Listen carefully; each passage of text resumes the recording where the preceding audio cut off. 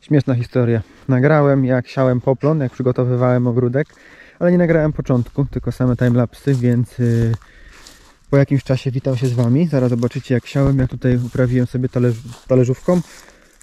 Groszek posiałem i, i, i, i, i, i rzepak. Ładnie rośnie. Już jest taki fajnie z 10 cm ma. Także samosiewów dużo. No i ten poplonik tutaj i tutaj ogródek tu będziemy mieli w przyszłym roku, także już pierwsze przygotowania pod ten ogródek właśnie są. Rośnie sobie poplonik, czeka na...